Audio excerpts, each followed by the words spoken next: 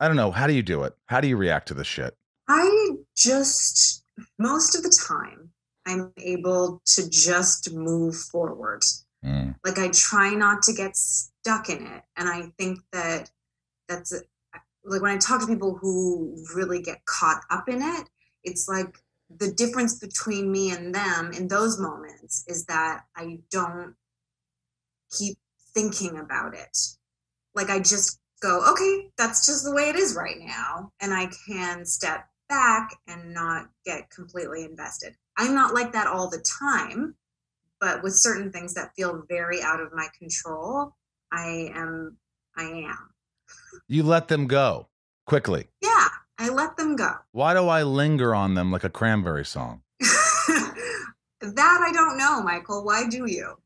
I don't know. I think because my mind's going a million miles an hour. I'm doing all these things, and um, it's not that I expect everything to be smooth sailing and and happen and and be fine and be great.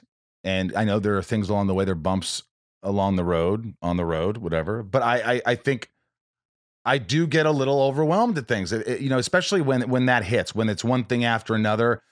I try to do the breathing. I try, and then all of a sudden I'm drinking a Coke. I'm, uh, you know, I'm not exercising as much, and I kind of go down. I'm like, what, am, what are you doing? And if you just kind of realize maybe that, hey, stop, go back to the routine, go back to. Mhm. Do you have a routine? Yeah, I was gonna say though, I think a part of what I do too, though, is I don't overload myself. I don't like having a ton of stuff on my plate, and so I try and keep it so that I don't. Like I don't like it when I have a like I do get stressed out when I have a lot. So I kind of control my life a little bit so that I don't have those moments that you're talking about where it all piles on top of each other because then I feel like I'm scrambling and I can't keep up. So like part of how I manage it is I just don't have as many things that I'm doing. Like I feel like you do a lot of things. Okay, I'm. I think you were caught in your first lie because you're going back to school. You're on a show. You, uh, you know, I, I mean, you do a lot of things, but maybe you are able to not spread yourself too thin and go. I could handle this. I could handle this. And when something you can't, right? Yeah, I have a, I guess maybe it's more like I have a sense of what I can handle, and I and I don't push myself too far beyond what I think I can handle. That's good. Do you get annoyed easily? I mean, I know you do because you got annoyed with me sometimes on the set. But Sometimes, especially if I'm tired. Do you know? hungry. Yeah, or when you're hungry. That yes, I, I get like that. We get we get hangry. But like you're dating someone, do you uh, do you find yourself like why why did I just get annoyed? Oh, I'm sorry. That was such a small thing you did, but for some reason it pissed me off. Absolutely, especially during COVID. That's definitely it's more annoying. Like, why are you eating the cake while it's in the fridge? Why not remove it from the fridge and then eat the cake? This isn't necessary. To- oh, there's a printer going off in my office. It's fine. Yeah. Uh, so yes, the yeah. answer is yes. I- well, if I were him, I'd say because I'm a guy. This is what we do. It's not an excuse. I have an Arnold Palmer. It's a jug of Arnold Palmer iced tea. Of course, I live alone. It's different.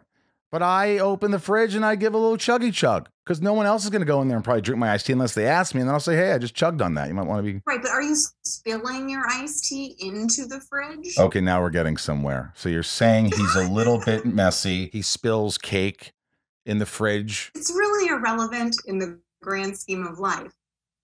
But in the moment, at times, it can be annoying.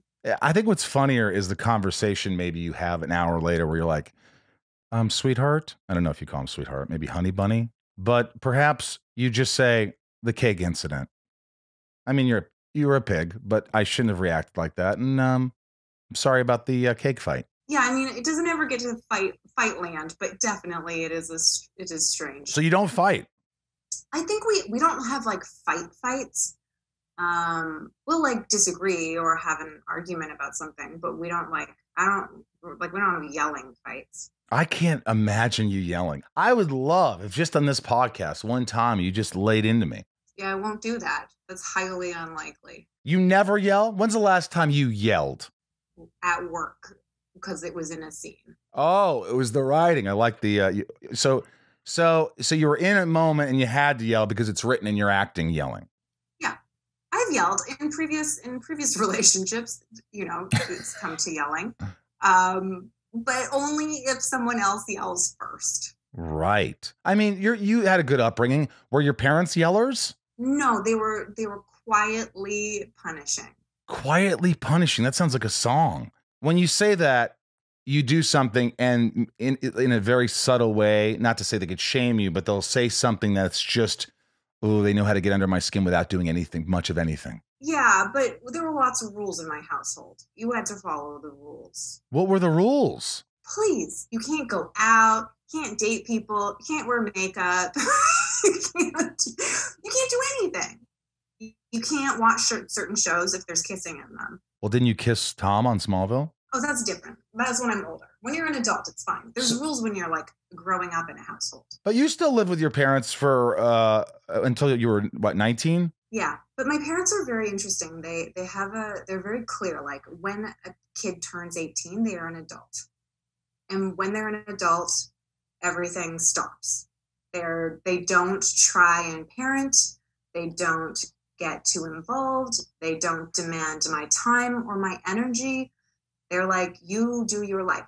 We'll support you in the ways you want to be supported, and we'll back off if you want us to back off. And I feel no pressure from them. Wait a minute. So it's like, when's your birthday again? December 30th. Right, December 30th. I wanted to say earlier December, but I'm glad you said it first because then I didn't look wrong. So on December 29th, they might have been kind of rude and said, You're, you're going to do this, you're going to do that. And then the second you turn uh, 18, I'll let her leave her alone. Pretty much that was their theory. And and I'm really as I see some of my friends and their relationships with their parents, like I'm really glad that they did that. Like I just don't feel the weight of them at all.